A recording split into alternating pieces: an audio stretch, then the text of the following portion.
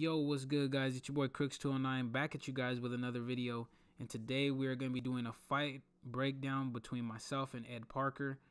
Uh, this fight happened in the TMA Prezi Lions Den tourney that happened this past weekend. And man, this is a hell of a first round matchup for anybody to have uh, against Ed Parker, one of the best Conor McGregor fighters in the game on either console, to be honest. So knowing that, I knew he was going to go with Conor, so I went with my Jorge Masvidal pick. Uh, in terms of stats, these guys are pretty equal. Conor has the punch speed, uh, but Jorge is no slouch either on the feet. And I knew this was going to be a stand-up war. And that's honestly the reason why I wanted to do this fight breakdown is because it is a high, high, high level striking contest between myself and Ed Parker. So here we go. We're going to jump right into the fight with uh, myself and Ed Parker. There's a high level of respect, but uh, this is for money, so we're going all out to try to get this W. So we hit him with the respect before we even jump into the fight. Here we are. We show respect by bowing to each other. We touch gloves, and we're underway. So starting off, I wanted to give him some space. Just kind of wanted to pop the jab out there throw a couple leg kicks to try to see how he he would check him or what he would really do regarding him. Um, I didn't want to come out and really start pressuring him because uh, he's so great at, uh, at working the body and draining stamina. I knew I'd be in trouble if I tried to use that game plan. So we're just popping the jab, kind of trying to take our time, trying to get reads on what he's doing. Um, he's using the space as well. He's being very, very patient. Hits me with that good kick right there. We hit him with another good kick right there. So we're just trying to keep him corralled in the corner here, but wisely gets out of there, returns to the middle of the octagon. Make him whiff a strike right there. So we're using our jab. We went very jab heavy in this in this contest. Trying to throw a lot of uppercuts to keep him off my body as well. So hit him with a good one-two right there. Miss a front kick, but hit him with a jab hook after. Make him whiff that strike there. Cost him a lot of stamina. So we're just popping the jab out there. And leg kicks. Leg kicks played a huge part in this fight as well. Uh, so as you can see, my body health is getting a little bit low. Even though I break down his his uh, his block right there, I need to be careful because he loves to body hunt. So we block that kick right there. We whiff that third strike, but don't even throw the fourth strike. He hits us with a good head kick. He slip hooks me right here, and that's my sign that I need to reset. Uh, so we, we use movement, we get out of that corner, and we go back to popping the jab where we are safe at. Hit him with a good lead kick right there. Hit him with a good rear calf kick right there. And we're working that calf. Now I noticed that he did not block any of these. Most of these were landing in the first round. So I wanted to start to switch to that heavy because if he's not going to block it, I'm going to keep going to it. But now he's starting to pressure me a little bit. Tries to hit me with a front kick.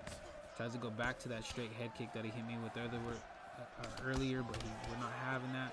We exchanged two punch combinations right there. Come back with a jab, jab straight. Miss him on the last two strikes, but hit him with that jab enough to, to make him back up. So he tries to jab, jab straight us right here. Pop out a good jab. And now we're back in the pocket here. So we hit him with a good front kick right there. We're able to break his block here, knock him down. We get a good clean knockdown right there. Get him with another leg kick. Knock him down with a straight uh, with a straight hook. We're into a ground and pound situation here. Are we going to be able to get the finish? We are not. We get pulled down into his guard. Now I realized here that I was safe here. Conor doesn't have very good submissions. There's so little time left on the clock. So I'm just going to try to point, get some points by punching his body. just relax here. This first round couldn't have gone any better in terms of getting the rhythm and setting precedent for the rest of the fight. But I also knew that Ed can flip the script at any time. Not only him as a player, but Conor McGregor has the power and the speed to knock me out at any moment. So I'm not going to come out and go crazy. So here we are. We start in the second round. We touch gloves again. We're back. Give him some space. He hit, and now he's trying to pressure us a little bit. So I hit him with a, some good leg kicks right there. He goes down to the body, but we hit him with a jab hook right there. So here you notice that he's pressuring us, uh, unlike he did in the first round. So we really need to take our time because he's trying to get that damage back. His head health is really low. And I noticed that his leg health is low as well. So we're going to try to double down on those leg kicks. Get him to switch that stance to... Because Conor only has an 80 overall switch stance. So I knew his power will drop significantly if he switches stance. But Ed knows that as well. So he's putting the pressure on me in southpaw. He's landing more than he was landing in the first round. So we're sticking that jab out there, trying to leg kick where we have when we have a chance. Hit him with a good three piece right there, break his block, and he hits us on the counter of that leg kick. So we need to be careful, Conor. If he lands a lot of those, he's gonna put us out.